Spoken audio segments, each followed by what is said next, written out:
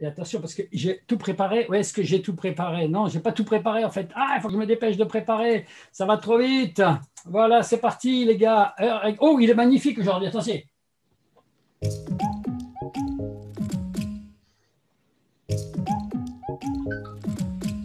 Voilà, alors on est live sur LinkedIn, comme d'habitude. On est en live sur Facebook, sur ma page personnelle. Mais nouveauté aujourd'hui, on est en live sur la page Facebook du Social Selling Forum. Et on est toujours en live sur YouTube, comme d'habitude, avec le Zoom direct vers YouTube. Hein, pour ceux, qui ne se souviennent pas, on, part de Zoom, on va vers, OBS, qui lui monte vers euh, Restream, qui redescend vers LinkedIn et Facebook. Voilà. C'est compliqué, hein C'est compliqué. Le par contre, le YouTube, il est direct à partir de Zoom et ça, je vous conseille de le faire, quoi qu'il arrive. Hein. D'accord? Voilà, bonjour Jean-Michel également qui vient de nous rejoindre. ben écoutez, et si vous êtes en train de nous voir euh, sur LinkedIn, sur Facebook ou sur YouTube, vous pouvez nous rejoindre sur Zoom et normalement, si vous allez sur LinkedIn et sur mon profil, vous allez trouver le lien Zoom pour nous rejoindre, y compris normalement sur le, sur le, direct. Est-ce que tu, confirmes, Fez, qu'on voit bien le lien pour le direct, dans le direct? Voilà. Eh bien, super. Parce que j'ai changé, euh, j'ai changé le paramétrage de WeStream pour qu'il envoie, euh, pour envoie un message du genre rejoignez-nous. Bon, quelles sont vos nouvelles aujourd'hui? Donc, on va commencer par euh, le, petit nouveau qui vient rarement, qui est Jean-Michel. Il vient de temps en temps, mais il vient. Jean-Michel, est-ce que tu as une actualité à partager avec nous, quelque chose d'important pour les gens qui nous écoutent? Alors, je ne sais pas si c'est important pour les gens qui nous écoutent. En tout cas, c'est important pour une cause. C'est celle de la malnutrition infantile. Et, ça, je pense que suite au prix Nobel de la paix pour le plan alimentaire mondial, je pense que c'est quelque chose qui est à prendre au sérieux, euh, puisque euh, si ce prix Nobel a été donné, euh, c'est parce que avec la pandémie, on va reculer la date prévue d'éradication de, de la malnutrition infantile de 2030 à 2050. Et donc, il ne faut pas que ça soit une fatalité. Et c'est pour ça qu'il y a des gens qui se bougent. Et euh, après, il y a différentes façons de le faire. Il y a la façon euh, euh, locale, il y a la façon à distance, il y a des projets de RSE. je dirais que la façon de le faire, ce n'est pas le plus important. Ce qui est important, c'est d'être en action pour ça. Et, et Loïc, qui me, suit, c'est voilà. Mais voilà, je, suis pleinement dans, cette action depuis quatre ans et en ce moment, c'est très important puisque le Black Friday, pour moi, ça s'est super bien passé, mais vous comprenez bien qu'il faut aussi savoir redistribuer dans ces périodes un peu de crise et, je pense que c'est important. Voilà mon petit mot euh, particulier pour aujourd'hui, Loïc. Merci pour ta parole, pour m'avoir donné la parole c'est Jean-Michel Davo, D-A-V-A-U-L-T. Vous allez voir sur son profil, vous allez trouver une pub, enfin pas une pub, mais un, post dans lequel il a une vidéo dans laquelle il vous enjoint à donner pour les enfants. Euh, voilà, très bien. Merci beaucoup Jean-Michel. Fès, tu avais également une, annonce à faire. Mets ton micro.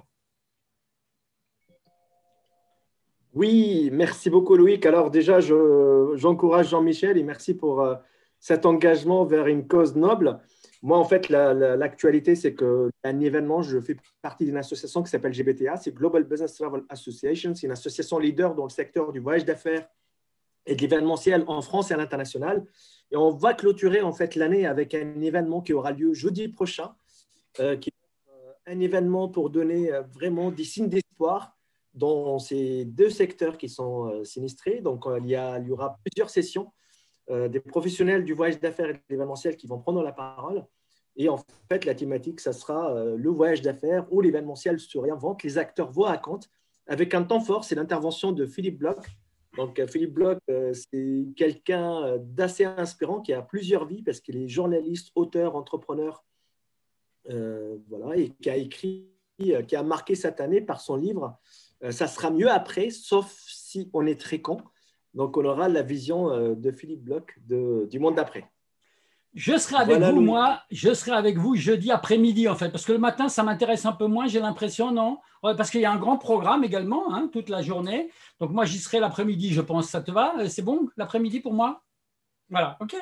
OK. C'est donc le 3 décembre et il suffit d'aller sur le, également sur euh, le profil de Fez Mimita et puis vous trouverez de quoi vous brancher sur cet événement. Euh, ensuite, Laurent, est-ce que tu as une actualité, toi, dont tu veux nous faire part? Euh, bah, Moi, je vais faire une double, une double actualité. Je vais faire ma pub et la tienne en même temps. Euh, vous pouvez me retrouver à 18h au Social Selling Forum. Je vous fais une conférence sur la puissance des questions dans l'implication. Voilà.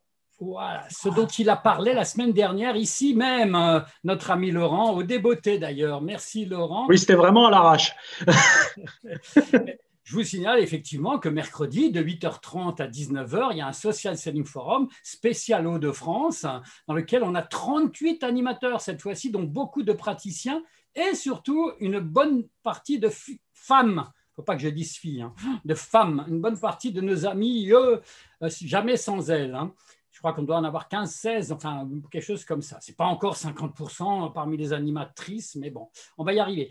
Ok, merci. Et vous trouvez tous les éléments. C'est le même, c'est le même lien Zoom d'ailleurs que celui d'aujourd'hui. On va se faire Zoom bombé ou pas d'ailleurs cette fois-ci. Voilà. Ok. Qui est-ce qui a qui d'autre? Eh, il y a des gens qui s'étaient montrés, qui sont repartis là, mais restez là. Michel, Barabé, euh, la machine à lead. Si vous avez une actualité ou quelque chose, vous pouvez nous la donner. Ou si vous voulez justement partager quelque chose d'important avec les pros, c'est le moment. Hein. Bon, ils sont venus de, Facebook ou de YouTube ou de LinkedIn et là, ils ils ont peur de se montrer en vidéo Hein? Non? Aucun? Bon, Julien, lui, on le connaît, il est toujours là, il est en train de se balader, il a, cassé son téléphone, je pense, Julien Girard de la machine à lead. Bon, moi, euh, moi j'ai une, actualité également à partager avec vous, euh, c'est qu'on euh, fait tous les jours de la semaine une heure de session d'entrée d'entre-pro de 13h à 14h, et c'est en ce moment, et puis, il y a toujours 3, 4, 5, 7 personnes qui se connectent. Si un jour, quand il y en aura zéro, je répondrai aux questions dans le chat. Là, je vois qu'il y a le chat sur LinkedIn et sur Facebook qui fonctionne. D'ailleurs, j'ai le chat combiné qui arrive ici, mais je ne sais pas si je peux répondre d'ailleurs, parce que, ah si, euh, bonjour, voilà, je vais répondre. Bonjour, venez nous rejoindre sur LinkedIn. Ça, c'est un chat combiné qui est dans Restream qui permet de, de répondre. Euh, oui, ça marche qui permet de répondre aux gens qui, sont en, live.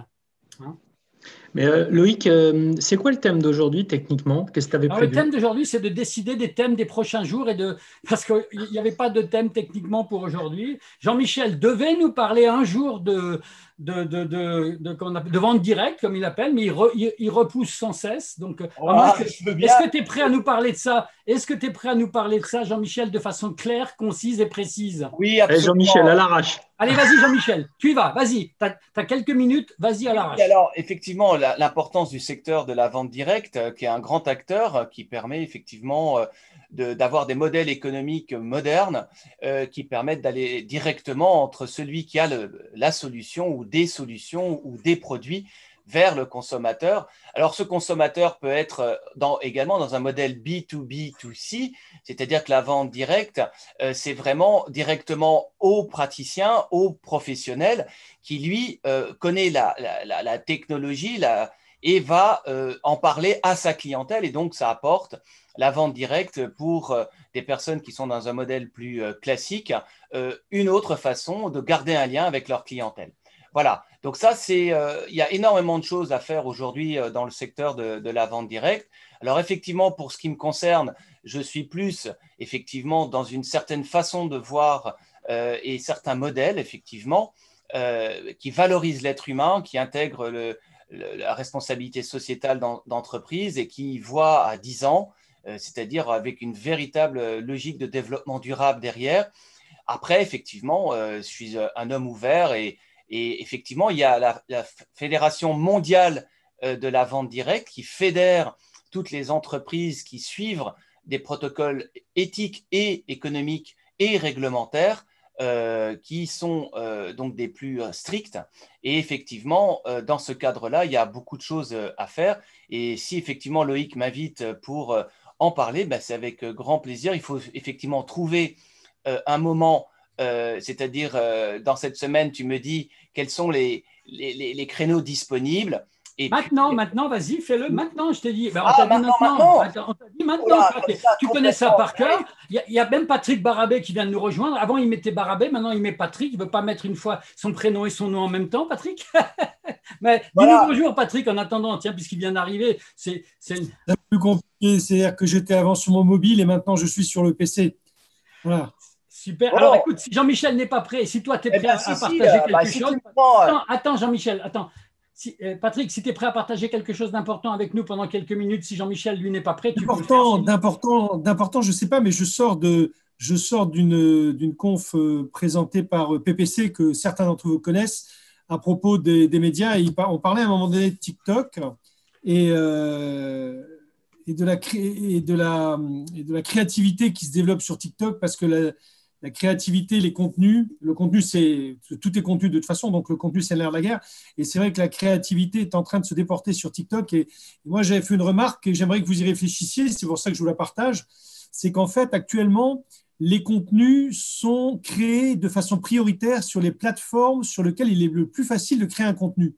Ça peut être Instagram. La plateforme la plus riche actuellement en matière de création de contenu, ça reste quand même TikTok. Mais euh, de façon autonome, j'entends. Hein. Je ne parle pas de gens qui font de la création extraordinaire, euh, qui ensuite passent par Photoshop, passent par, passent par des produits de, de, traitement vidéo complexe, rajoutent du son, font du montage, etc. Je parle de, simplement de, de création spontanée à propos de l'application. TikTok, c'est la meilleure plateforme et la plus complète actuellement.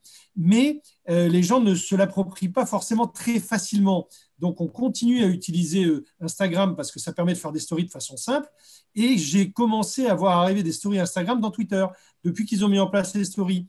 En fait, ma, réflexion, elle vient, elle vient, euh, elle vient maintenant. C'est est-ce que ce n'est pas, est-ce qu'on ne va pas faire de la création sur la plateforme qui est la plus simple à utiliser pour ensuite dupliquer ce contenu sur l'intégralité des autres plateformes? Est-ce qu'il y a, réellement des gens capables de produire du contenu sur toutes les plateformes?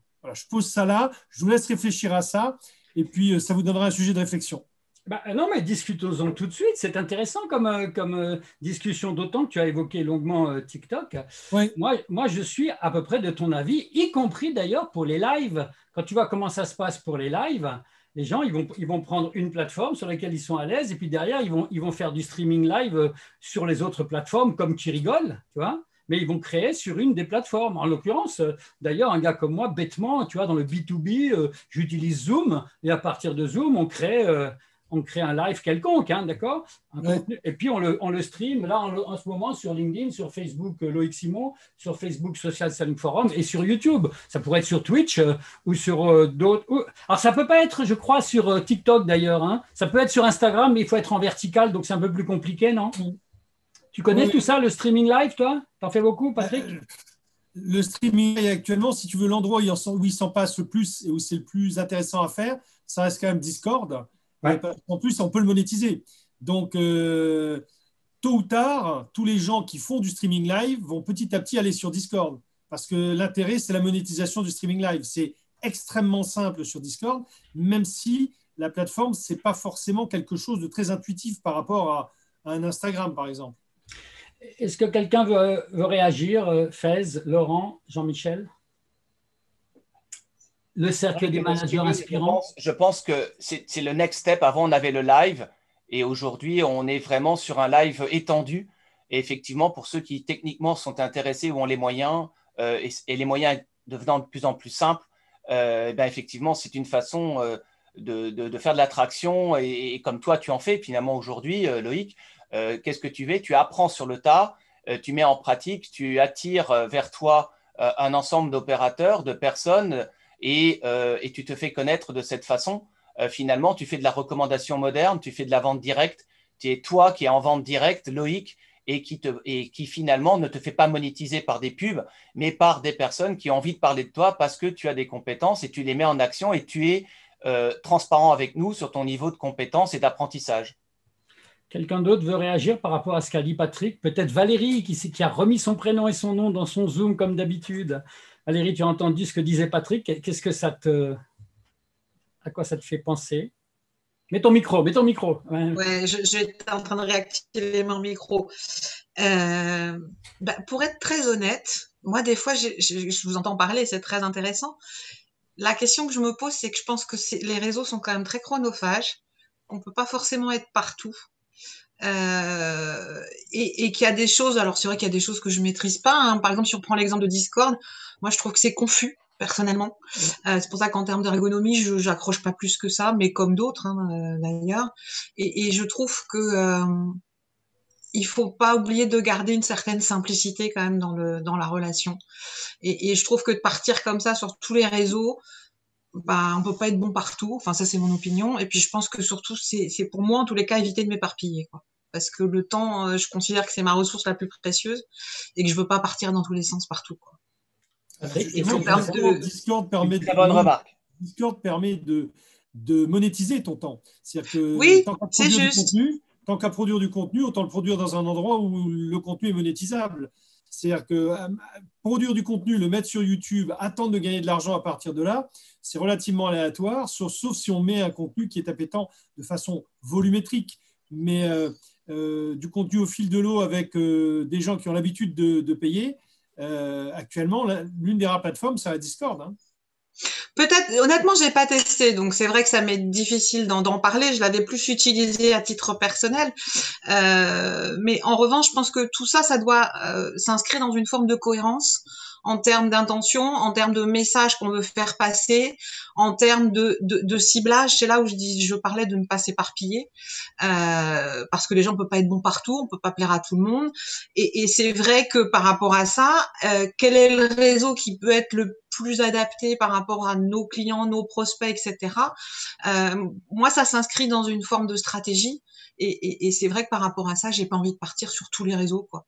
Voilà, c'était le, fruit de ma réflexion en fait. D'accord. Attends, attends, Patrick. On ne réfléchit pas à l'envers. Je me demande si on ne réfléchit pas à l'envers, si on n'est pas en train de se dire. Peut-être. Euh, j'ai un client, j'ai des clients. Voilà, mes clients c'est ça, mes prospects c'est ça. Qu'est-ce qui peut les intéresser? Je mhm. pense que en fait, le, là, je pense qu'on raisonne avant. Euh, le raisonnement maintenant et après, c'est plutôt de se dire, je fais des choses qui me correspondent. Voilà, moi je suis ça. Euh, et puis, j'espère qu'une audience va venir et que cette audience va, me financer. Alors, j'espère qu'il va y avoir des prospects qui vont être intéressés par ça et des clients intéressés par ça. Je ne vais pas les chercher. Je fais l'inbound, je leur propose des trucs. Et ceux qui viennent vers moi, c'est ceux-là qui seront mes prospects, mes clients. Oui, ça, c'est juste. Ah oui, ah oui, ah oui. Là-dessus, ça, c'est juste. Ça rejoint une longue discussion que j'ai eue avec Loïc sur le sujet parce que Loïc me disait Mais Jean-Michel, tu fais quoi? Et là-dessus, je lui répondais bah, Écoute, moi, j'ai ma façon de voir le monde, de partager des idées et, euh, d'agir.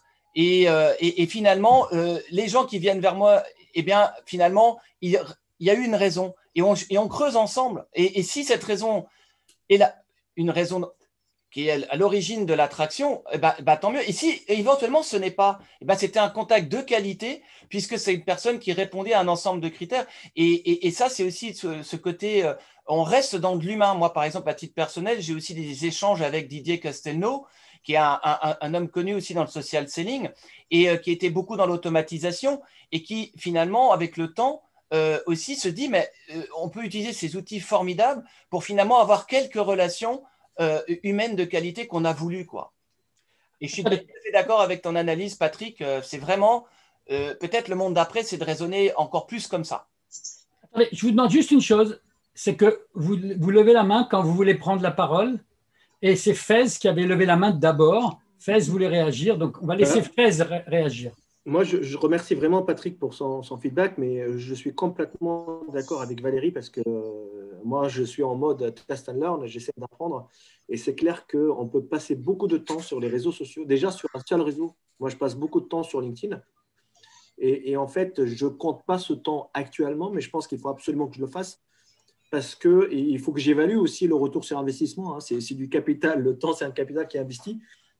Euh, clairement, aujourd'hui, euh, je vais attendre encore quelques temps, mais si je n'ai pas un retour sur investissement, en tout cas escanté, soit je vais changer, soit ma stratégie n'est pas la bonne, euh, soit en fait, je, dois changer complètement, complètement en fait, de, de, canal parce que, en fait, étant commercial, j'utilise LinkedIn, mais j'utilise aussi en fait des canaux, des canaux de vente plus directs. Et il faut en fait que j'investisse dans le canal qui va me permettre d'atteindre mes objectifs euh, commerciaux. Alors, on va, vous, réagirez après. Laurent, vas-y, vas-y Laurent, et ensuite on va réagir par rapport à tout le monde.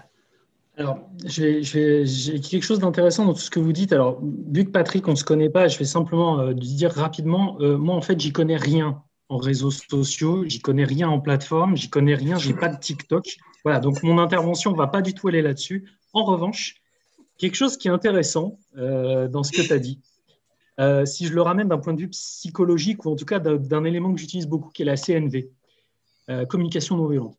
En fait, ça part d'un principe de base qui est de dire qu'à partir du moment où on, est vraiment dans l'empathie et on se parle et donc on s'écoute vraiment, ça veut dire que on, finalement se rend compte qu'on a tous des valeurs communes. Et je rebondis sur ce qu'a dit du coup Jean-Michel.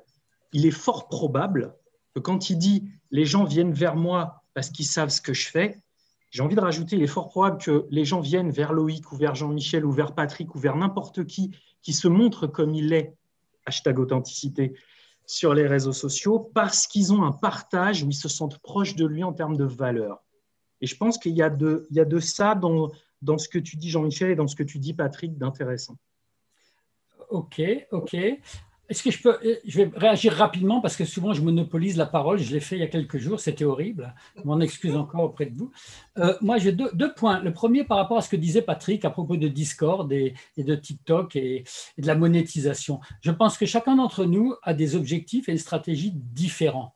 D'accord? Si moi, mon objectif en tant que consultant, coach, conférencier, euh, freelance, indépendant, formateur, etc., qui sont souvent des gens qui viennent ici, ce n'est pas de monétiser euh, ces contenus, entre guillemets, ces contenus euh, comme le ferait quelqu'un sur Discord, sur Twitch, tout en jouant aux, jeux vidéo ou sur TikTok, c'est aussi une stratégie, Patrick. Il n'y a pas que la stratégie de vouloir monétiser mes contenus sur une plateforme, que ce soit Instagram d'ailleurs ou autre, d'accord? Ou même d'être influenceur par rapport à une plateforme ou une autre. Donc chacun sa stratégie, Patrick. Tu es d'accord ou pas sur ce premier point?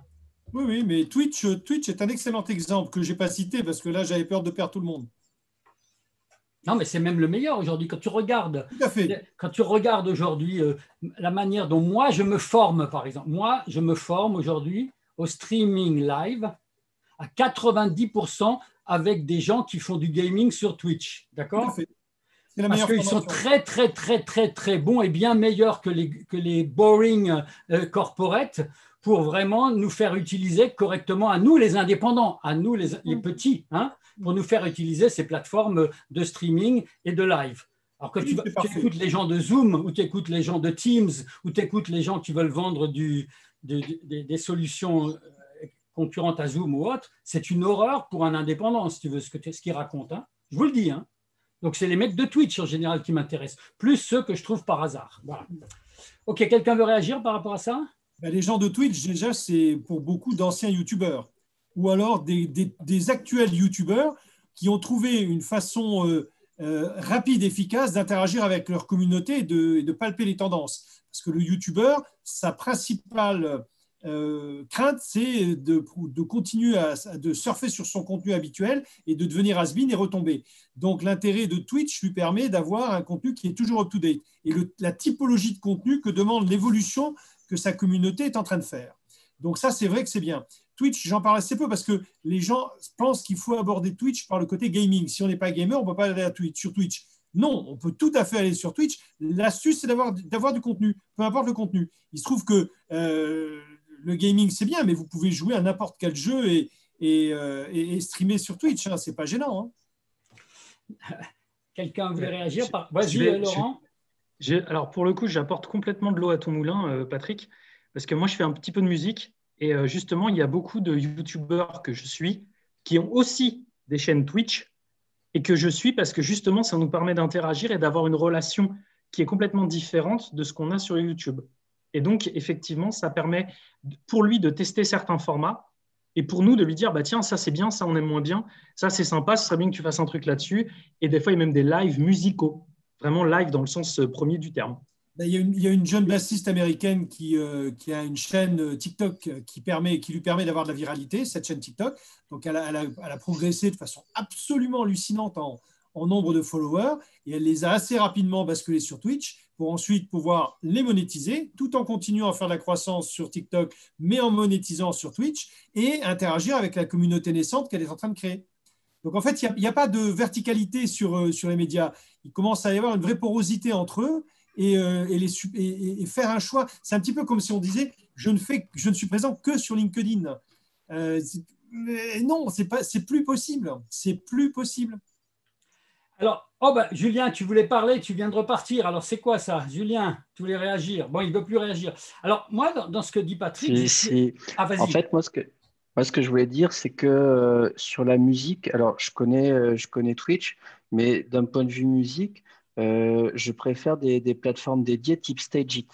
parce que Stageit, le moteur de recommandation, va faire qu'un artiste pas connu peut se retrouver en, en, première partie virtuelle de quelqu'un de connu et on reste dans un univers musique avec la force de la recommandation thématique autour de la musique.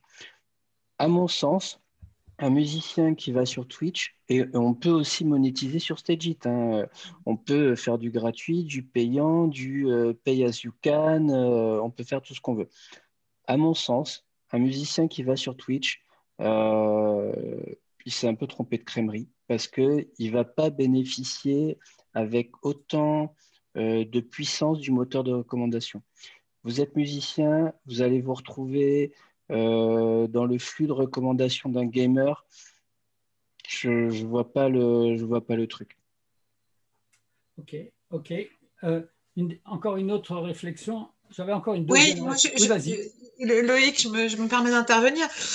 Dans, dans, mon intervention, le but, c'est pas d'opposer euh, les, les, réseaux les uns aux autres, un monde d'avant, un monde d'après. Je pense qu'à un moment donné, c'est aussi où, où est-ce que se trouvent nos clients et nos prospects euh, et effectivement comment on se reconnaît. Donc moi j'aime bien essayer plein de choses. Hein. Donc euh, j'ai essayé euh, de créer ma chaîne YouTube, j'ai fait un podcast sur Encore, Discord ou, Twitch, je les utilise à titre perso. Enfin voilà. Mais je, pense qu'à un moment donné, quand je parlais de simplicité, c'est aussi pour revenir à, des basiques. Alors après les gens s'y reconnaissent ou pas, effectivement. Mais ça on le voit aussi au fil du temps et, et, et le lien est, aussi un lien de confiance qui peut se créer parce qu'on sort de nulle part à la base et les gens ils nous connaissent pas, ils se disent ok elle nous raconte ce qu'elle veut celle-là, mais euh, voilà. Donc euh, je pense que de, de recibler en termes de stratégie aussi à qui on s'adresse et ce qu'on a envie d'apporter, moi, c'est la démarche que j'ai eue en tous les cas. Ce qui m'empêche pas d'aller tester à droite à gauche, hein, euh, parce que je suis aussi curieuse à la base. Voilà. Je pense que Patrick a une, a une approche inverse d'une certaine manière. C'est intéressant de continuer à creuser là-dessus, Patrick. Est-ce que tu peux encore creuser sur cette approche inverse si tu veux bien? Parce que ça, ce que tu dis, Valérie, on dit tout ça depuis longtemps, tout le temps, d'accord? Et là, ce qui m'intéresse, c'est de voir ce qui est en train de se passer en ce moment. J'ai plutôt le sentiment que Patrick n'est pas tout à fait dans, dans, dans l'erreur là-dessus, tu vois. Donc, vas-y, Patrick, moi, continue. moi, je suis bien sûr d'accord avec ce que vous dites. Ça a fonctionné. Maintenant, maintenant, ce qu'il faut se dire, c'est que euh, quand on est dans une logique de prospect, on est dans une logique, dans une logique de client, on est dans une logique d'élevage, d'acquisition, c'est acquis. Dans une logique de prospect, on est dans une logique d'acquisition. Mais euh, on ne sait pas où sont nos prospects. Si on pense que nos prospects, ce c'est l'équivalent de ce que sont nos clients, mais sur des endroits où on n'a pas été, ou alors sur des endroits où il y a déjà des concurrents, je pense qu'on se trompe un peu. J'ai un passé, moi, très commercial, très, très commercial. Et je me suis aperçu que plus de la moitié du newbies que je faisais, c'était sur des endroits où personne ne m'attendait. Et pas moi. Personne n'attendait mon entreprise, personne n'attendait mes produits, personne ne m'attendait tout court. Il y a très longtemps, je vais prendre un petit exemple. Il y a très longtemps, je vendais des solutions, de, du matériel informatique. On va dire simplement du matériel informatique, des, PC, des serveurs, des trucs comme ça. Une boîte colossale. Et, euh, euh, et, je cherchais des, des relais de croissance. Et l'un de mes plus gros chiffres de l'année s'est fait sur de la commercialisation de valisines Marsat d'occasion et en location. La valisine Marsat, si vous voulez, c'est un petit peu l'ancêtre du téléphone mobile, mais qui fonctionne n'importe où dans le monde, en se captant directement sur un satellite. Satellite. À l'époque, ça coûtait 60, entre 60 et 90 000 francs, avec des trucs francs. Hein, je parle, ça parle à tout le monde, quoi. À une époque où le SMIC était à 3 000 francs. Donc, euh, et, euh, et j'en ai, mais j'en ai commercialisé, mais des, des, centaines, des vraiment des centaines. On a fait un chiffre colossal. Personne ne nous a attendu là-dessus. Si on était resté là où on était, on aurait eu juste nos concurrents à battre. On était sur le même gâteau. Moi, mon idée, c'est de se dire, le gâteau, il est là, il a cette taille-là, on essaie de se le partager et tout, mais tiens, il y a un autre gâteau à côté auquel on ne pense pas, et aller sur ce gâteau-là. Et c'est mhm. justement en utilisant, en, laissant venir les prospects, on se dit, ben, on verra. Donc, l'idée de tout à l'heure de se dire, euh, il y a un truc qui est mieux pour les musiciens parce que sinon, mon flux musical qui arrive chez un, euh, chez un YouTuber, je chez un gamer, je ne suis pas sûr que ce soit pertinent. Ben, en fait, si, parce que le gamer, il écoute de la musique Et on ne sait même pas quelle musique il écoute. Parce que les mêmes gamers, ils peuvent, sur un jeu donné, ils peuvent écouter 17 types de musique différentes. Et en plus, en découvrir d'autres parce qu'ils sont tous abonnés à des plateformes qui leur suggèrent constamment des nouveaux trucs, des trucs qu'ils ne connaissent pas. Et un fan de, un fan de hard rock peut, je vais faire une caricature, mais peut demain matin devenir un, gars qui va écouter de la K-pop de façon peut-être discrète dans son coin, mais il peut très bien écouter ça. Et jamais on n'aura envisagé de, de commercialiser la K-pop auprès de ce type de clientèle je caricature, hein, Laurent, c'est volontiers, hein. mais c'est vraiment, vraiment ça en fait qu'il faut se dire. C'est que les moteurs de recommandation maintenant, on ne maîtrise pas les algorithmes qu'il y a derrière, mais on sait que c'est pertinent parce que eux, ils sont pertinents. De, ils font suffisamment de deep learning pour savoir ce qui est pertinent pour nous. Et à un moment donné, quand ils nous ont identifiés, ils disent OK, ça c'est bon pour toi. Nous, on n'a même plus besoin de faire l'effort de se dire mais où sont mes prospects? Les prospects, ils vont arriver naturellement. Si je me positionne dans une dans, une typologie de création de contenu sur des plateformes où il y a énormément de personnes, tôt ou tard, les bonnes personnes vont arriver. Et là, je vais arriver sur une chose qui avait été décrite dans un bouquin euh, de, chez Anderson, je ne sais plus comment, qui s'appelait La longue traîne. Et la longue traîne, en fait, tout le monde vise le corps et la tête. Mais en fait, il faut viser la longue traîne parce que dans la longue traîne, il n'y a pas beaucoup de gens, mais il n'y a, pas beaucoup d'épaisseur de gens par rapport au corps et à la tête, mais ils sont très nombreux, ils sont dans le monde entier. Je vais prendre l'exemple de, euh, la musique, euh, de la musique. On reprend l'exemple de la musique. Si vous êtes la FNAC ou n'importe quel rayon avec n'importe quel magasin avec des rayons physiques, vous allez privilégier les blockbusters parce que vous n'avez que 100 mètres carrés pour mettre du CD. Donc, vous ne pouvez pas mettre toute la musique possible. Vous ne mettez que ce qui se vend bien. Quand vous êtes en ligne, vous dématérialisez la musique, comme le contenu qu'on est capable de proposer, il est dématérialisé. Qu'est-ce que vous faites? Eh bien, vous pouvez faire des trucs extrêmement marginaux.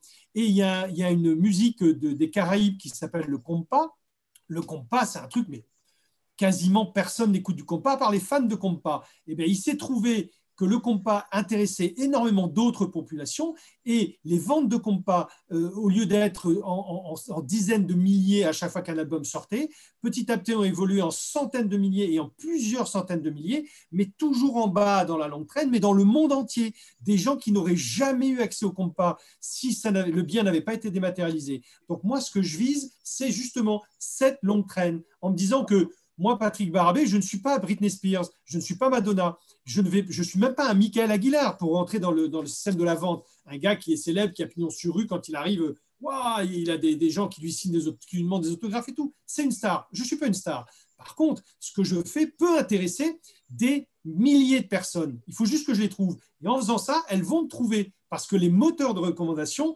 vont me présenter à elles. C'est ça le, le, côté extrêmement intéressant. Donc, je ne vais pas repérer mes prospects, je ne fais pas l'effort de les chercher parce que je suis toujours très étonné par les gens qui viennent, de, qui viennent me demander euh, du, qui viennent me demander de faire du business avec eux. Je suis super étonné, ils n'ont pas de profit, ils ont rien. Je me dis, c'est qui ces gens-là? Et en plus, ils me recommandent ensuite. Donc, je laisse les moteurs de recherche s'occuper de ça. Merci. Pardon, les moteurs de recommandation. Merci. Quelqu'un veut encore réagir à ce sujet-là maintenant? Non? Moi, j'avais quand même encore une dernière question, euh, puisqu'on a la chance d'avoir Patrick aujourd'hui avec nous. Il vient, il vient rarement. Peut-être qu'il reviendra d'ailleurs dans cette session et on pourra continuer. Euh, si tu avais un ou deux conseils à donner aux gens qui veulent euh, aller voir correctement, pas le voir, mais y travailler TikTok, qu'est-ce que tu leur dirais, toi? Des gens, alors attends, pardon, je, je reformule. Des gens comme nous des conférenciers, des coachs, des consultants, des formateurs, des, gens qui sont euh, business to business dans le, des, des gens comme nous, quoi, des pros. Qu'est-ce que tu leur conseillerais de faire et comment tu leur conseillerais d'aborder TikTok aujourd'hui? Très honnêtement, je, alors, je, vous m'entendez? Oui, vous m'entendez. Très honnêtement, il y, a, un gars qui s'appelle, euh, je ne sais plus comment, euh, coach de vente. J'oublie son nom à chaque fois. tu le connais peut-être? Oui, oui, oui, on, le connaît, on connaît très bien. Mollet. Mollet, Jean-Pascal Jean Mollet. Jean-Pascal Mollet, il produit du contenu sur TikTok. Bon, il a 10-15 euh, vues, 2-3 likes, etc. Ce n'est pas très important. Tôt ou tard, il va finir par trouver son public. Tôt ou tard. Euh, il faut qu'il continue, il faut qu'il s'accroche. Ça va être long au début, hein. mais on a tous démarré avec, euh, avec deux contacts sur LinkedIn. Tous, sans exception. Et je vois ici quelques-uns qui en ont des milliers, voire des dizaines de milliers. Donc, il faut continuer. En fait, il faut faire un contenu que vous êtes capable de maintenir sur le long terme. TikTok, c'est la règle. Vous faites un contenu capable d'être maintenu sur le long terme et vous vous accrochez à ce contenu. tôt ou tard, c'est une question de temps, TikTok va vous mettre en avant parce qu'il y aura cette demande. TikTok, quand ça a démarré il y a quelques temps, c'était Musical.ly, c'était uniquement des jeunes qui faisaient du playback. Après, ça a été des jeunes qui dansaient. Après, ça a été de véritables artistes, des gars qui ont un niveau absolument invraisemblable. Et en fonction de ce que vous likez, de ce que vous appréciez, ça peut être euh, bah, euh, des, des, des Asiatiques, des peu importe ce qu'on vous propose. Et c'est en train, TikTok est en train de vieillir, de vieillir au niveau de ses spectateurs, de vieillir au niveau de ses producteurs de contenu, est en train de se professionnaliser. Donc, s'ils se professionnalisent, les spectateurs sont aussi des gens qui sont des professionnels. Et quand vous vieillissez, à un moment donné, vous n'êtes plus simplement des spectateurs de contenu de divertissement. Donc, euh, il, faut, il faut trouver, il faut que vous trouviez un contenu que vous êtes capable de produire de façon régulière, sous forme de pastilles. Euh, ce qui marche très bien actuellement sur TikTok pour des gens qui, ont, euh, qui sont comme nous, on va dire, ce sont des, des contenus typiquement linguistiques, c'est-à-dire des, des, des, textes, des mots, des comment ça marche, etc. Mais c'est le début. C'est le début. Vous avez des conseils de vente à donner, donnez-les. Vous avez un gars comme Corben. Je ne sais pas si vous connaissez Corben, mais c'est un, ça a été le blogueur, et c'est toujours un blogueur exceptionnel en France, c'est un gourou. Corben, il fait de temps en temps des petites pastilles. Ça décolle pas, c'est pas grave. Un jour, ça va décoller. Quand des gens comme nous seront sur TikTok, les pastilles de Corben vont décoller et Corben aura la vraie audience qu'il mérite. Donc, c'est comme partout, Loïc. mon, mon idée est très simple. Produisez un contenu qui vous êtes capable de tenir sur le long terme et espérons qu'un jour, ça rendra. Ouais. Alors, quelqu'un d'autre connaît bien TikTok ici, veut répondre? Non, c'est Valérie qui veut. Ah bah, Valérie, attention, tu as du bruit derrière toi. Fez, voulait d'abord intervenir et ensuite Julien. Moi, j'ai une question. J'aimerais euh, vraiment, c'est passionnant, Patrick. Hein, je te remercie d'échanger sur le sujet. J'aimerais savoir, tu, tu, vends quoi déjà, Patrick? Et puis la seconde question, tu passes combien de temps par jour, voire par semaine, sur les réseaux sociaux? Alors, je vends quoi? Ben, Je me vends moi déjà, mais j'ai très peu de temps à moi, donc je me vends très peu.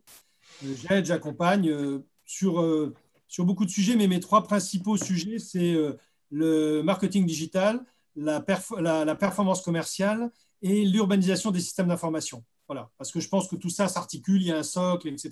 je ne vais pas parler de moi là. Le, combien de temps je passe sur les réseaux sociaux? Ben, Tout à l'heure, quelqu'un disait, toi d'ailleurs, je crois, Faïs qui disait, Faïs ou Faïs, je ne sais pas, qui disait il faudrait que je sache combien de temps je passe sur LinkedIn. Bon, ben, c'est excessivement simple. Hein. C'est je prends mon mobile, j'installe une application qui scanne ce que je fais, je ne fais plus rien en dehors de mon mobile. Comme ça, je sais combien de temps je passe dessus.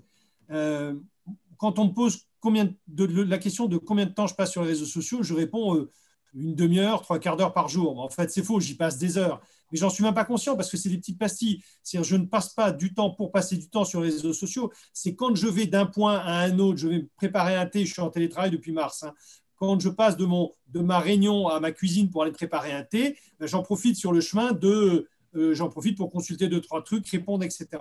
Et j'ai une telle habitude de l'usage de ces outils-là que j'y passe globalement très peu de temps en rapport de ce que je suis capable de produire et de faire.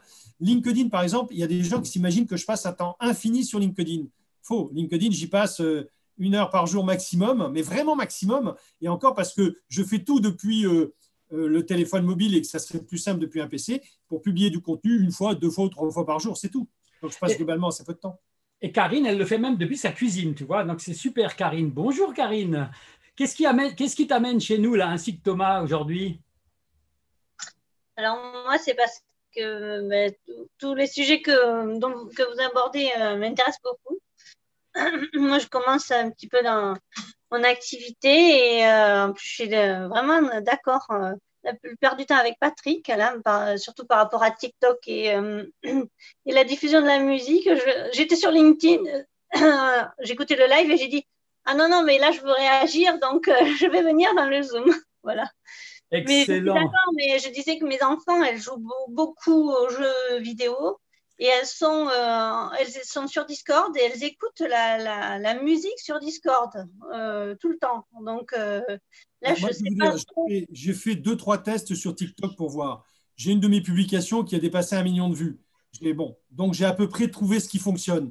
J'ai simplement pas le temps de m'en occuper, mais euh, parce que ça prend beaucoup de temps et je suis pas un créatif. Donc j'ai trouvé, j'ai fait deux, trois tests et au bout, je crois, du sixième ou septième test, poum, ça a grimpé d'un coup et je suis passé de, de, de 15 followers à 3000 en très peu de temps, simplement avec une publication. Sur TikTok, sur TikTok, tu disais. Oui, il est passé dans les pour toi. c'est vrai? Non, mais, mais c'est ça, c'est quand tu passes dans le pour toi, c'est là que tu, Oui, bah oui, ça à fait- faire le. En l'espace de, en l'espace de 3-4 jours, je suis passé de 1 à 3 000 et de, de 10 000 vues à plus d'un million de vues.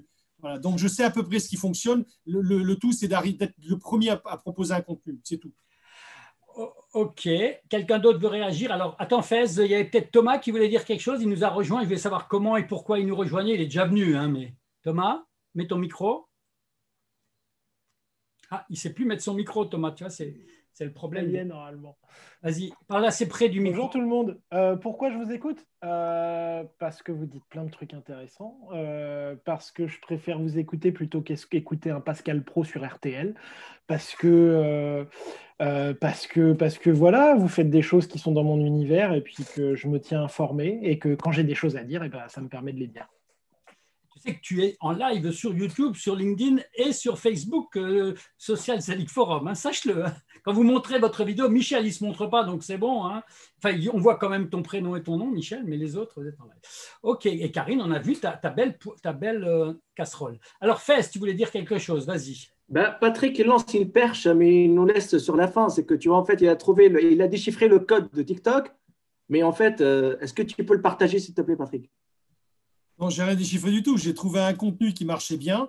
Euh, et en fait, je vais être franc avec vous, il n'y a pas de secret. Qu'est-ce qui marche bien sur TikTok? La même chose qui marche bien sur LinkedIn, la même chose qui marchait bien sur Facebook, c'est un contenu qui attire du clic. C'est tout. Vous faites du clickbait et ça marche. Vous faites un contenu qui est sympa, rigolo, fun, amusant, décalé, ça fonctionne.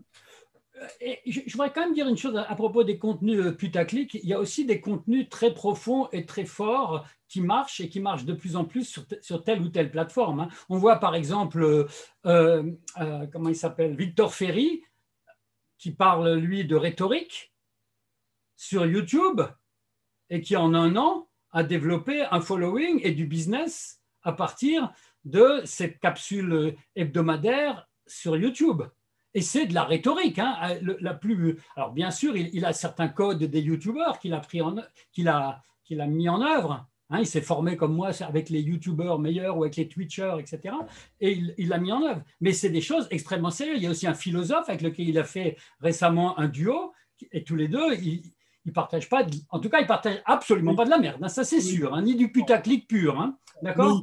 Non mais Loïc, pour être très clair, les gens qualifient, les gens qui qualifient de putaclic un contenu sont des gens qui soit n'arrivent pas à produire ce type de contenu, soit essaient de produire ce type de contenu et n'obtiennent pas le résultat de ceux qui obtiennent des résultats. C'est tout. C'est-à-dire que je vais prendre un autre exemple très simple. Euh, vous avez une youtubeuse qui s'appelle Lena euh, Matouf, euh, qui vient de sortir un bouquin, qui est numéro un des ventes. Elle est même passée devant Lévy. Donc, c'est un, ça fait un carton plein. Elle s'est fait éreinter par Bec BD dans un, dans, un, dans un de ses éditos obscurs. Pourquoi? Parce que déjà, il était sûr qu'en parlant d'elle, au moins son édito aurait de la visibilité. Parce que Bec BD, c'est un gars qui était à la mode dans les années 80, quand euh, moi j'avais. euh, Eh, On va se faire, on va se faire zoom bombé, hein, Patrick. Ça y est, on a les trois, les trois euh, qui sont venus la semaine dernière qui sont là. Et là, ils se montrent en plus, tu vois. Alors, Timo, je ne sais pas si c'en était un. Cas, voilà, c'est parti, c'est parti. Allez, ils sont là. Donc, on va faire. Voilà, messieurs, c'est bon. donc, si tu I veux- moi, j'ai un gars comme Bec You BD. did que- the que je little rencontre- low, you qui était-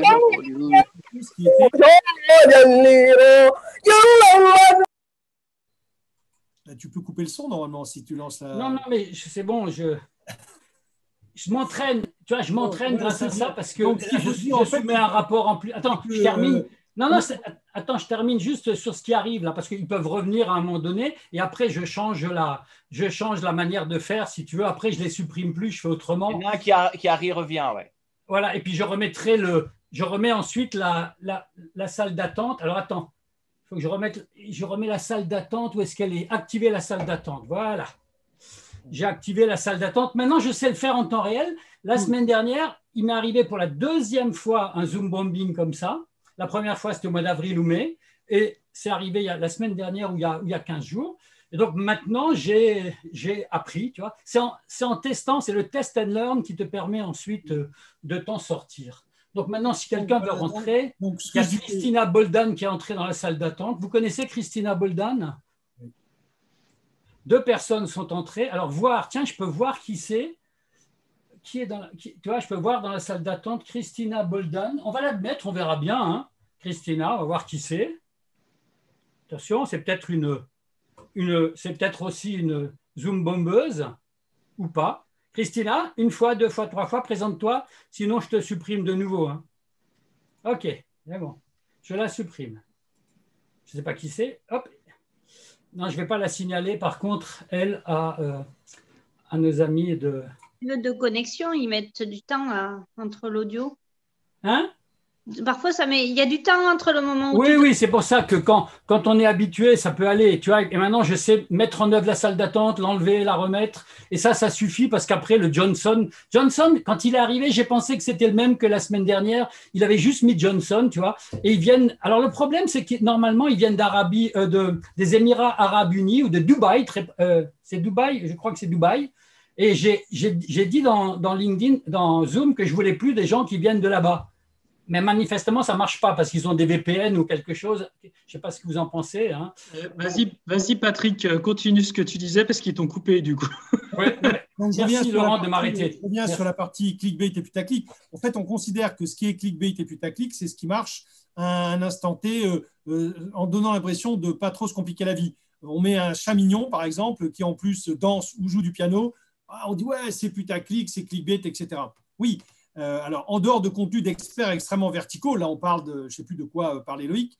euh, à De- un moment de philosophie, j'ai Voilà. parlé de philosophie et de rhétorique. voilà, un moment. bon, la rhétorique, la philosophie, tout le monde ne peut pas en parler. Donc, effectivement, ça peut avoir un succès parce que c'est très vertical, c'est demandé à l'instant T. Euh, mais globalement, les contenus évoluent. Les contenus évoluent. À une époque, on mettait du même, on faisait un carton. Après, on a mis des images, on a fait un carton. Après, on a mis des vidéos, on a fait un carton. Maintenant, il faut des contenus un peu longs, on fait un carton. Donc, en fait, on peut, on peut faire du clickbait et du putaclic, mais sur différents types de contenus qui sont de toute façon intéressants euh, au fil du temps. Et moi, je pars d'un principe extrêmement simple. Peu importe le type de contenu, si les gens n'en veulent pas, le contenu n'aura pas de succès. C'est aussi simple que ça. Si un contenu a du succès, et ça, essayé de l'expliquer depuis des années dans des gens dans LinkedIn qui me disent régulièrement ici, c'est pas Facebook. Gars, si c'est pas Facebook, va-t'en. Si ça te plaît pas, dégage, sors, ne clique pas, ne fais même pas le moindre geste. Parce que si à un moment donné, l'algorithme vous présente de façon récurrente, c'est que quelque part, la plateforme considère que c'est un contenu qui est intéressant pour les personnes qui sont dedans. Si vous n'êtes pas intéressé par le contenu, c'est que vous n'avez pas le bon profil. Changez de plateforme. C'est aussi simple que ça. En fait, le contenu putaclic, ça n'a pas de sens. Clickbait, ça n'a pas de sens. On ne peut pas reprocher aux gens de faire ça. Parce que tous ici autour, l'idée, c'est de vendre quelque chose, peu importe ce qu'on vend. Et tôt ou tard, vous vendez aussi ce que vous êtes. Et ce que vous, êtes, c'est ce que vous donnez l'impression d'être. Donc, vous donnez une apparence. Si vous donnez l'apparence du gars qui met tout le temps des chats mignons, le jour où vous allez expliquer, parce que vous faites de l'IT par exemple, le jour où vous allez expliquer comment urbaniser un système d'information, vous resterez le gars qui monte des chats mignons. Donc, vous allez, vous allez avoir un problème de crédibilité. Mais si demain matin, vous vendez de l'inspirationnel, du bien-être, euh, de- du développement personnel et que vous mettez du chat mignon ou alors des gens qui font des trucs exceptionnels, ben, ça peut très bien marcher. Et ça n'empêche pas que vous ferez des dizaines de milliers de vues. Donc, ce n'est pas gênant de faire euh, du clickbait, ce n'est pas gênant de mettre des contenus qui sont très appétants pour la masse. C'est simplement qu'à un moment donné, vous montrez de vous une image type et après, il ne faudra pas vous étonner qu'on vous prenne pour quelqu'un d'autre parce que les gens ne vous connaissent pas, ils vous connaissent au travers du média. Salut à tous. Merci. Je ne suis pas encore habitué à regarder la salle d'attente toutes les deux secondes. Il faut quand même la regarder, en fait. Merci, Christian, de m'avoir appelé. Il m'a appelé sur ma montre connectée. Là. Ah, bah. Écoutez, j'interviens deux petites minutes pour vous dire que j'ai malheureusement, euh, je n'ai pas pu être avec vous parce que bon, j'ai du travail et que là, je suis en pause dans une autre, euh, un autre compte Zoom. Donc, du coup, j'ai été obligé de fermer l'autre compte Zoom puisqu'ils sont en pause, tant mieux. Et donc, je vous ai rejoint rap- rapidement et c'est à mon grand regret que je ne puis assister à, à Patrick euh, Barabé. Je crois que c'était toi qui avais la keynote aujourd'hui, euh, la keynote, c'est ça? Au débeauté. Au débeauté. C'est qui? Au débeauté. Il l'a fait au débeauté. Après que Christian a commencé, s'est arrêté quelques secondes en disant qu'il n'était pas prêt. Et après, c'est Patrick qui a repris. Donc aujourd'hui, c'est Patrick. Jean-Michel, tu choisis une date et puis on le fait pour toi. Hein? Alors, Jean-Michel, tu choisis une date. avec- Voilà. effectivement, j'ai trouvé ça très intéressant et il a parlé notamment de TikTok et, d'autres. et d'autres. je me ferai un plaisir de le regarder le replay parce que je pense que je vais me régaler. Et Alors, je vais deux secondes, hein, c'est pas moi, hein, je parlais, mais si vous me lâchez sur un truc, si vous voulez, je peux parler des, champignons au Tibet oriental, hein, moi je peux. Non, je m'en fous. mais en fait, en fait, si tu veux, Patrick, pardon, parce que je vais, vite vous quitter, donc je voulais vous dire d'abord que je vous aimais tous. Voilà. Et euh, Julien, euh, je t'ai pas oublié, Julien, toi aussi. Hein. Et donc, euh, non, mais c'était très intéressant. Et j'ai répondu à, Bruno Friedlanski et à Cyril Bladier sur un post qu'ils ont mis tout à l'heure en disant euh, il reprenait le poste, quelqu'un disait Ouais, j'ai envoyé 1000 invitations gratuites, euh, j'ai eu 10 appels téléphoniques et j'ai fait une affaire. Et en fait, c'est Bladier faisait un sondage. Vous trouvez ça génial? Vous trouvez ça nul à chier? Enfin bref, moi j'ai répondu Il n'y a pas de quoi se vanter, effectivement. Et j'aurais posé la question, euh, parce qu'il parlait de la, prospection bourrin, donc vous savez très bien, j'aurais posé la question Et vous-même, avez-vous utilisé la mise en contact automatisée? Mais je, je vous donne ma conviction. Ils m'ont tous les deux répondu Jamais. J'ai la conviction qu'aujourd'hui, et je vais arrêter là, je vous le laisser, que vous, les influenceurs, ceux qui ont plus de 10 000, 15 000, vous avez tous utilisé l'automatisation. Vous avez tous utilisé les pods. Et aujourd'hui, vous êtes en train de dire à ceux qui font les pods, etc., ouais, mais c'est pas bien un, peu comme les pays développés qui ont utilisé, qui ont, qui ont pourri l'environnement et qui après disent ah ben non maintenant on va se mettre à l'éco-environnement, oh c'est super, et puis euh, disent aux, pays en voie de développement oh vous les Chinois, oh vous les Africains, oh vous machin. Je trouve que c'est un discours un peu euh, moi personnellement, j'aime pas trop qu'on me donne des leçons. Alors je dis pas toi Patrick, hein, parce que toi je sais que tu es un homme intègre et que vous êtes tous des gens intègres ici, mais euh, euh, j'aime pas trop qu'on me donne des leçons en disant c'est pas bien. Ah ben moi aussi j'ai faim et moi aussi j'ai envie de bouffer ma part de gâteau. Voilà. J'ai envie, envie, de te répondre, Christian. Vas-y, Julien. Et après, on a parlé de prospect sur la bourrin. Euh, j'ai envie de te répondre en fait avec une, une analogie assez facile. C'est comme dans le Tour de France. Si tu demandes aux coureurs du Tour de France, personne ne s'est jamais dopé, personne n'a jamais triché. Sauf que ben, euh, tous les ans, tu en trouves, tous les ans, il y en a qui sont rattrapés par la patrouille. Euh, et c'est une course à celui qui va de plus en plus loin. Avec, je crois, il y a deux ans, on en a même trouvé un qui avait un moteur électrique dans son vélo. Non content, non content de se mettre de l'EPO, des hormones, euh, de faire des trucs avec des transfusions sanguines. Euh, voilà, le mec, il triche même sur la mécanique de son vélo. Et il n'est pas seul, il y en a plein. Il y en a plein qui font ça. Il y en a plein qui font ça. Laurent C'est à l'insu de leur plein gré, Julien, c'est pour ça. C'est bien connu. Laurent, Laurent. Je voulais, je voulais, euh, je voulais amener euh, un tout petit peu de. je voulais amener un petit désaccord avec ce qu'a dit Patrick il y a un moment. Euh, en fait, quand tu dis, quand tu as fait l'analyse du putaclic, soit ceux qui ne l'ont pas fait, c'est parce qu'ils voudraient le faire. Enfin, tu as eu une rhétorique de ce type-là à un moment. elle m'ennuie un petit peu cette rhétorique parce que si fondamentalement et statistiquement parlant, tu as probablement raison et je ne remets pas ça en cause parce que tu t'y connais beaucoup mieux que moi sur le sujet. Euh, d'un point de vue psychologique, ça me dérange beaucoup plus parce que là, on se retrouve dans une polarisation. C'est-à-dire, en gros, d'après ce que j'en comprends, faudrait faire du, presque limite, faudrait faire du putaclic pour que ça fonctionne. Et là, ça me dérange parce que ça voudrait dire que si on fait du putaclic, euh, on ne peut pas arriver à quelque chose de, comment dire, euh, ça voudrait dire qu'on ne peut pas arriver à quelque chose de propre en termes de vente, de, convenable en termes de vente sans le faire. Ça voudrait dire que du coup, et là je pose la question à tout le monde, ça voudrait dire que du coup, si on se met en véritable authenticité, salut Fez, en véritable authenticité et en véritable, euh, comment dire, euh, vérité, mais en mettant du contenu de qualité, ça marcherait pas? C'est une question, hein. je ne dis pas que j'ai la réponse. J'ai une réponse extrêmement simple. Hein. En matière de commerce, l'éthique et la morale, c'est le chiffre d'affaires à la fin du mois. D'accord. Après, après, je pense qu'il y, a une troisième catégorie de gens qui ne veulent pas faire du putaclic. C'est ceux qui simplement, euh, ça ne les intéresse pas ou ne veulent pas. Euh, ça dépend de comment on envisage l'Internet. Est-ce que euh, c'est un loisir C'est le truc où on, va, pour trouver, je sais pas, moi, quand je pense putaclic, je pense à des articles qui tournaient il y a, quelques, quelques années sur Facebook avec le top 10 des prénoms des mecs qui puent de la bouche ou, pire. voilà, où on était vraiment dans du contenu poubelle. Maintenant, est-ce que c'est ce qu'on a envie de trouver sur Internet? Moi, je préfère aller voir même un truc, euh, je sais pas, euh, il y, a des trucs consistants. Euh, je pense par exemple à Cédric Villani, qui a publié sur YouTube l'intégralité des 9 heures de démonstration de la théorie synthétique de la courbure de Ricci, qui est la démonstration avec laquelle il a obtenu la médaille Fields. Bon, ben, pour moi, euh, c'est plus ce genre de choses que je vais aller chercher sur Internet. C'est plus des choses de valeur avec du fond ou euh, d'aller lire des articles de Topito ou cliquer sur des images de Chabette. Euh, voilà, tout dépend de ce qu'on attend d'Internet. Et en dehors de ça, je pense que derrière le putaclic, il y a un modèle économique, un modèle de page vue, un modèle de publicité. Mais ces gens-là, ils, ne cherchent rien à amener euh, à la société ou à l'auditoire en général. La seule chose qu'ils recherchent, c'est rentrer dans un modèle de rémunération qui fonctionne ben, sur Internet au coût par vue, au coût par mille, au coût par clic. Euh, voilà.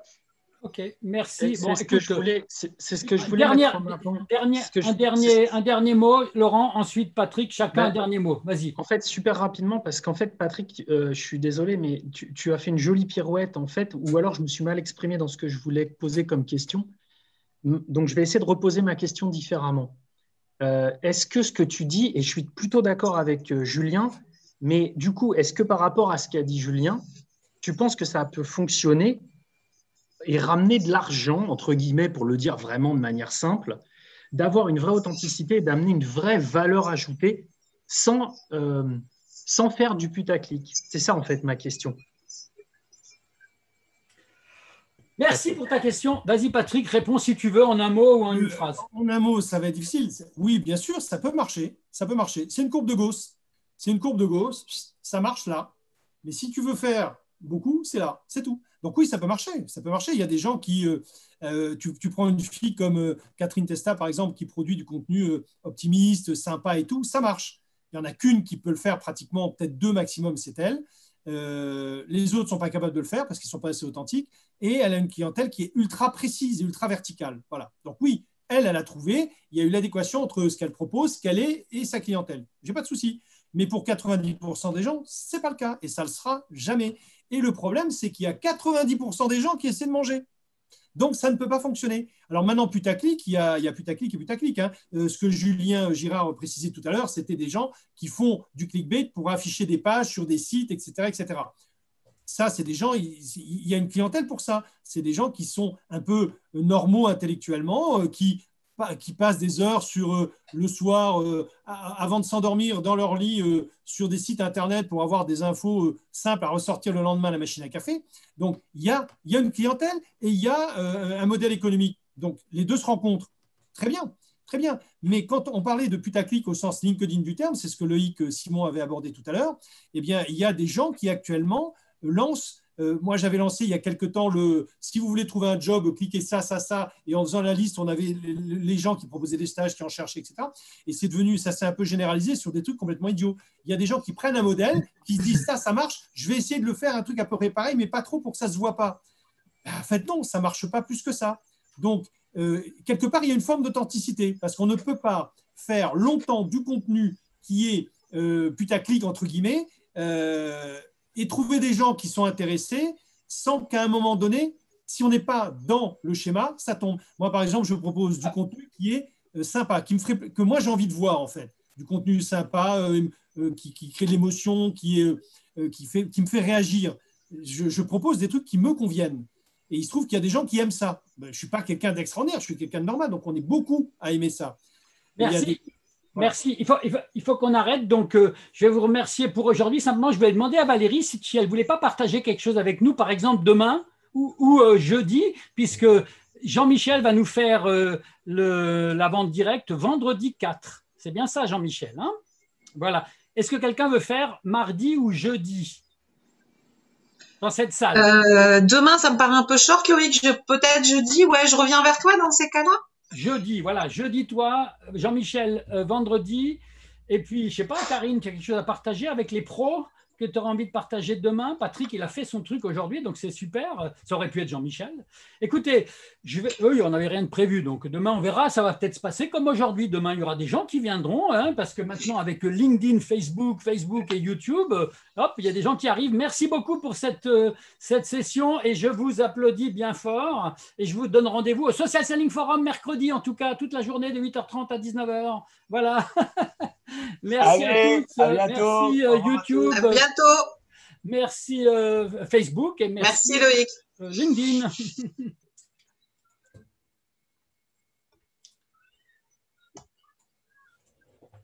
voilà, j'ai arrêté, les- j'ai arrêté les trucs. Ouf Valérie, tu as toujours un problème de, de luminosité ou alors c'est le problème de ta 4G ou Wi-Fi qui fait que le zoom te montre à nous euh, avec beaucoup de pixelisation, avec beaucoup de flou, tu vois. Toi, tu toi, as peut-être l'impression que c'est super fluide chez toi. J'ai remarqué ça, moi, c'est pareil. hein. On a l'impression que c'est super fluide et en fait, derrière, c'est très flou. Qu'est-ce que, quelle est ton impression quand tu te regardes comme ça? Oui, mais je pense qu'il y a un mix de pas mal de choses. Il y a la luminosité, oui. Euh, je vais essayer en tournant mon bureau, mais euh, en plus régulièrement, je le vois quand je fais mes sessions Zoom ou Teams avec mes clients. Il y a des problèmes de connexion en ce moment. Je suis en Bourgogne, moi. Bon, enfin, en tout cas, je te Donc, dis que euh, il faudrait que tu revoies ça. Alors, encore une fois, je ne sais pas si c'est parce que tu es sur, en, en, en Wi-Fi, en Wi-Fi pas très bonne ou en 4G. Ah, je suis en Wi-Fi, ouais, ouais, sur- ouais. Ah, pas de, t'as pas de, de, de, de boîtier? T'as pas de, de, de Freebox? Non, j'ai pas de répéteur, ni quoi, ni caisse, non, non, non. Mais euh, pourtant, la Wi-Fi, enfin, la box est juste à côté puisque j'ai tout mis dans mon bureau. Mais donc, si la box est à euh, côté, tu peux pas te connecter avec l'Ethernet? Bah non, parce que les câbles ils sont tout petits et puis j'ai déjà plein de câbles de partout, donc. Ah, Mais je vais voir ce que je peux faire. Non, parce que c'est peut-être ça, c'est peut-être juste le côté Wi-Fi, ou alors c'est le côté luminosité, ou alors ta webcam qu'il faut changer. Mais, mais Non, mais je pense que euh, moi j'utilise très honnêtement Loïc la, la webcam de mon PC et elle est pas, euh, elle est pas Voilà. terrible, si tu veux. prends, une Donc, webcam. euh, ça, ça, ça joue aussi, hein, forcément. Voilà. Il y, a le, il y a le Black Friday là, vendredi, euh, comme ça tu, tu pourras te dire je ne vais pas trop dépenser, mais là je vais acheter une webcam si, si tu en trouves une. La C920 de, de Logitech, elle est encore correcte, sauf qu'elle est, elle est, souvent en rupture, rupture de stock. Euh, C920. Mais j'en avais acheté une petite, mais euh, Ah, non, Logitech, petite, en fait, on l'avait recommandé aussi, mais je trouve, je trouve que c'est pas terrible. Bon, j'avais mis pas- tous les pilotes, machin et tout. pas une petite, il faut acheter la C920, la C922 ou la Brio pour, si tu veux vraiment prendre une webcam. L'idéal, l'idéal, c'est pas ça. L'idéal, c'est que tu vas voir si, si dans ta famille tu as un appareil photo correct, digital, Euh, ouais, ma fille a du, moi, ma fille a du meilleur matériel que moi, je te confie. voilà, avec un appareil photo et une simple petite carte de capture vidéo qui vaut, qui vaut 15 euros, 13 euros. Tu en, tu en moi, tu vois, regarde là, moi, par regarder. exemple, regarde là, j'ai un appareil photo quelconque. Ouais. Un DSLR ou un, ou un, ou un compact, n'importe. hein. Bah, elle a un Canon, je crois, ou je sais je sais plus trop ce qu'elle a. Enfin, elle a une cam- sa caméra aussi. Il faut que je regarde, il faut que je m'en occupe de si, ça. si cet appareil photo a une sortie euh, qu'on appelle micro HDMI, Oui, oui, elle l'a. Mm. voilà, Mm. tu connectes micro HDMI vers HD, enfin tu prends un câble micro vers HDMI. Le HDMI, tu le connectes sur un petit, sur le petit boîtier de numérisation qui coûte encore une fois 13 euros sur Amazon, hein, 14 euros. C'est pas la peine d'acheter le truc à 130 euros parce qu'il y en a un qui s'appelle le Camlink à 130 euros. Mais là, tu prends un, tu prends le, le- comment, il s'appelle? Comment il s'appelle? Il s'appelle? Merde. Ah, je ici, moi. Où est-ce que je l'ai mis, moi? Ah, je s'appelle HDMI quelque chose. En tout cas, ça, permet de faire du HDMI vers l'USB de l'ordinateur et tu le rentres en USB dans l'ordinateur. Ça t'évite d'acheter une webcam dont la qualité d'ailleurs sera moins bonne parce que, euh, que la. Que je ne sais pas si je peux montrer ma webcam par rapport. J'ai une webcam. Voilà. Mais je, je t'avoue très honnêtement, euh, Loïc, que je, je, enfin, j'écoutais l'autre fois quand tu avais évoqué toute cette notion de matériel. Je m'en suis pas, je m'en suis pas vraiment occupée de ça dans l'immédiat. non, mais- J'ai pas pris le temps de me poser parce qu'en même temps, très honnêtement, si je voulais le faire, j'ai tout le matériel avec les spots de photographe, le fond vert, le truc, le machin. J'ai tout ce non, qu'il pas faut. besoin de fond vert. Non, non, prends pas. Mais voilà, je, me suis pas, euh, je me suis pas préoccupée. Moi, ce qui m'intéressait, c'était de voir les gens, de rencontrer, discuter, d'échanger. Et Mais, mais tu- je, enfin bon, on je est sais ce que tu vas me dire, Loïc. Non, je te dis rien. Je te dis rien. Simplement, simplement, plus tu prends de l'avance, je vais répéter ce qu'on dit Non, tous, mais je plus tu prends bien. de l'avance, je sais ce que tu vas me dire. parce que dans six mois, tu seras la ringarde. Dans six mois, aujourd'hui, tu es parfaite, et dans six mois, tu seras la ringarde. Voilà, c'est ça que je veux te dire. Aujourd'hui, c'est Mais bon. non, mais j'aurais un petit côté kitsch et vintage. Ouais, moi, Non, non, mais je moi, plaisante. moi, j'aime bien montrer, Euh, qu'est-ce- montrer mon- Oui, non, mais c'est vrai que moi j'aime bien aussi essayer, mais si tu veux, j'ai fait d'autres choses et euh, voilà. Donc, tu veux parler Donc, de quoi je vais, je vais Ah. prendre le temps. Jeudi, tu parles de quoi alors? Ben justement, c'était qu'est-ce que de quoi veux-tu que je parle? C'était la question que je voulais Ah, te poser. Eh ben, N'importe, c'est-à-dire que si tu as quelque chose qui peut être utile pour des pros, intra- intrapreneurs, entrepreneurs, enfin tous les freelance, consultants, coachs, euh, euh, conférenciers, etc., formateurs, hein, quelque chose qui peut être intéressant pour des individus comme ça, comme toi ou comme moi, hein, Hum, hum, hum. que tu veux partager, ben, tu le fais sur un sujet, le sujet que tu aimes bien et sur lequel tu as de la, t'as de, de la profondeur, toi. Voilà. Bah, si tu veux, c'est vrai que moi j'ai un sujet que j'adore et que j'ai fait et que j'accompagne avec mes clients aujourd'hui, c'est tout ce qui est lié au développement personnel et au management. Parce que moi j'allie, euh, dans les gens que j'accompagne, j'allie à la fois cet aspect-là et les aspects opérationnels que je connais bien, si tu veux.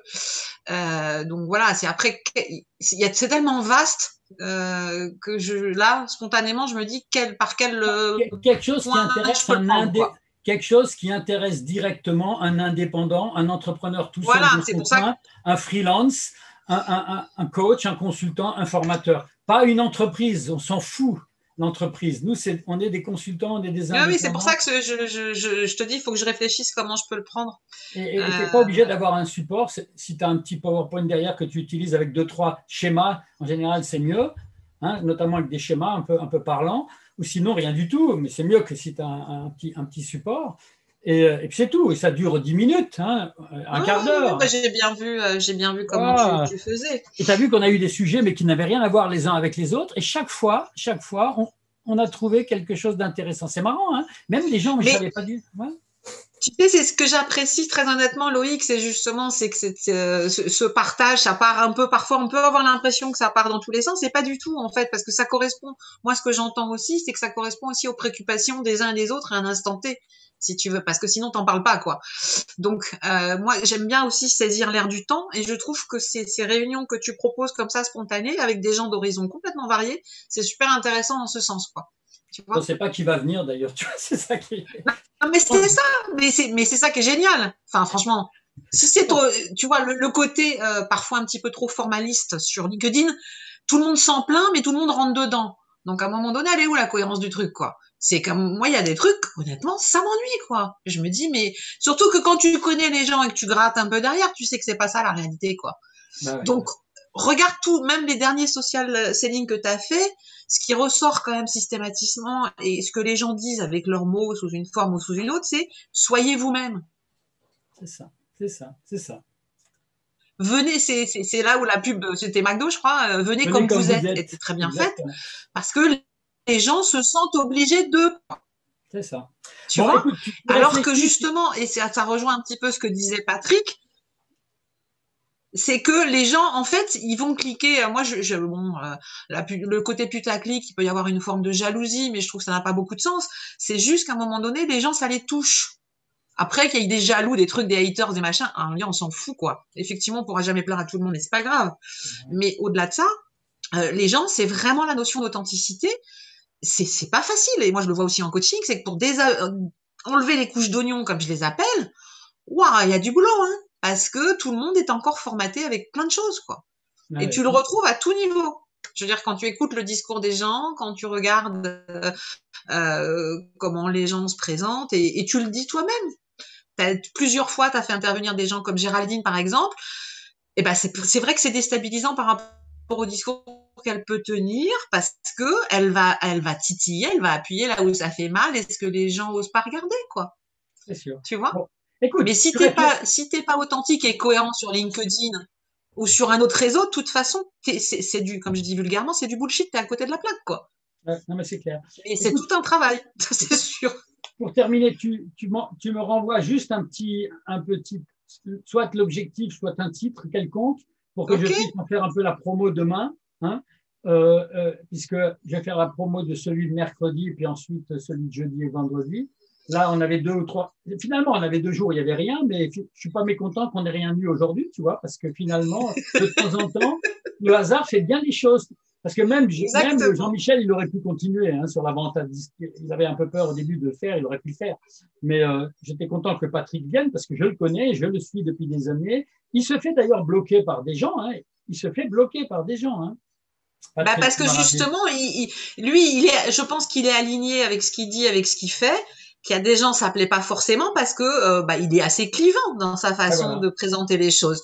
Mais à partir du moment où il est clair avec lui-même, c'est ça le plus important. Quoi.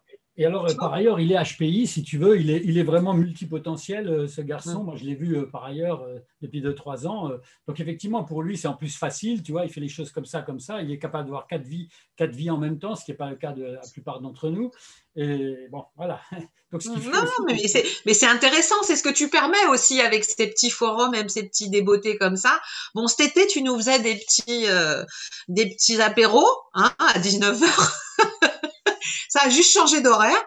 Mais bon, c'est ça, c'est ça qui est sympa parce que justement, ça permet aussi, si tu es un peu ouvert, ça permet aussi de réfléchir. Tu vois Même si on n'est pas d'accord mais c'est pas grave. Je me rends compte quand même que le côté live a, un certain impact. Le, LinkedIn Live a un certain impact. Alors peut-être que le Facebook Live ou le YouTube, il a un impact sur les Zoom bombers, hein, ça, je peux pas, je sais pas, je peux pas répondre. Je sais pas, eux, je sais pas d'où ils viennent, eux, de quel, de quel, de quel endroit ils arrivent, les, nos amis des, des, Émirats Arabes Unis là ou de, de Dubaï. Ouais, mais, c'est, Loïc, tu as trouvé la méthode effectivement quand tu vas dans les salles d'attente, quand tu vas sur le paramétrage de Zoom ou autre.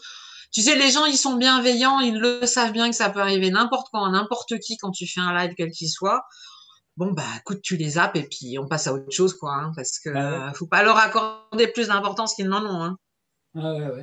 bon écoute je vais je vais il faut que par contre tu vois j'ai encore trouvé faut que je trouve encore un moyen de, de suivre les, les, gens qui sont qui sont qui participent pour voir ceux qui sont en salle d'attente c'est le problème des salles d'attente c'est qu'il faut que tu regardes tu peux pas laisser comme ça. Ouais, mais comme tu as plusieurs, euh, comme as plusieurs écrans, tu peux le mettre en affichage parce que de toute façon, tu as un petit décalage. Non, c'est pas ça. J'ai tout. J'ai alors j'ai tout l'affichage. Tu es là tout en visuel. Oui, j'ai tout. Oui, oui, oui, tout à fait. Ça, ça. Mais, mais le problème, c'est que quand je suis focalisé, je fais le MC ou j'écoute ce que racontent les gens, pendant ce temps, je ne regarde pas les, participants ou le chat, tu vois ce que je veux dire. Hein. Donc, c'est là que ça reste un peu compliqué. Il va falloir que je, que je, je cherche un, de l'aide, en fait. Il va falloir que je cherche de l'aide quand même. Mais est-ce que. Je, attends, Loïc, parce que je suis en train de réfléchir à un truc. Euh, au moment où tu as quelqu'un qui rentre ou qui sort d'une salle d'attente, normalement, tu peux aussi avoir un bip. Je ne veux pas avoir le bip. Donc, au lieu d'être. Ah, oui, mais peut-être que ça. Essaye mais ça me gêne le bip. J'avais le bip quand tu as 100 personnes qui arrivent et qui repartent, si tu veux, euh, comme c'est arrivé. ok, là tu parles du social selling, mais euh, effectivement, là pour les débeautés comme il y a eu là tout de suite maintenant, ça peut ah être déjà une façon de squeezer. Quand il y a une dizaine de personnes, si tu as une effectivement, quand il y a les salles où, il y a 100 personnes, ça devient peut-être un peu plus lourdingue. Est-ce qu'il me le propose ici? Je regarde. Et dans les salles d'attente, dans le paramétrage de mémoire, dans Zoom, tu, il te demande si tu fais, tu sais, il faut cocher, décocher. Ah oui, non, mais je l'ai décoché, je l'ai décoché justement exprès. Tu vois fait. Je l'ai fait exprès de le décrocher, mais peut-être que je vais le remettre, tu as raison. J'ai hésité hier, parce que j'ai passé des heures quand même. C'est ça qui est chiant, hein, c'est que j'ai passé des heures à essayer de débugger euh, mon, mon Zoom. Euh, avec tout ce système-là que j'ai maintenant, euh, ça devient, euh, c'est pas usine à gaz, mais mais il y, a souvent des trucs que tu comprends pas, quoi, des comportements de la, de la plateforme que tu ne comprends pas. Et c'est bah oui, parce que quand tu regardes les paramétrages de Zoom, tu as beaucoup de choses. Hein. Même quand tu as les salles d'attente, quand tu veux faire, si tu veux faire des ateliers privés, blablabla, il faut apprendre à, le, à le, maîtriser. Hein. Maintenant, quand je parlais de simplicité aussi, Loïc, bah, euh, je vais te dire, quand tu n'as pas essayé, au bout d'un moment. Euh, ah mais toi, tu deviens quand même, euh, tu manipules quand même pas mal Zoom, donc ça va. Aujourd'hui, j'ai oublié ce que je voulais faire, mais je voulais tester les, les salles de la division en groupe parce que je l'ai testé avec moi-même. Tu vois, comme j'ai, moi, j'ai six, j'ai six. plusieurs, ouais. J'en ai six en fait avec avec les smartphones plus les les ordinateurs que j'ai. Donc hier, j'ai testé ça marche pas mal, les salles, parce que je veux les Tu parles des ateliers, enfin des groupes privés, des ateliers spécifiques que tu peux créer? Ouais, D'accord, ok. ça, honnêtement, j'ai jamais testé, ça, j'en sais rien. je sais que, ça je existe. Je vais utiliser à partir, de, à partir de la semaine prochaine, en Belgique, je testerai un atelier d'intelligence collective avec, avec plusieurs animateurs dans plusieurs salles. Tu vois, les c'est sympa, non, mais le, fait. Ouais. Je vais faire ça. Bon, allez, je, je vais aller faire ma sieste. allez. Je vais balader, il fait beau. Allez, salut, bye. Allez, à plus tard, Loïc. À plus tard, merci. merci. À jeudi, hein, mais, envoie-moi juste un petit truc sur. Euh, envoie-moi juste un petit. Ouais, ouais, je vais réfléchir, je vais, je vais te griffouiller quelque chose. Voilà, salut.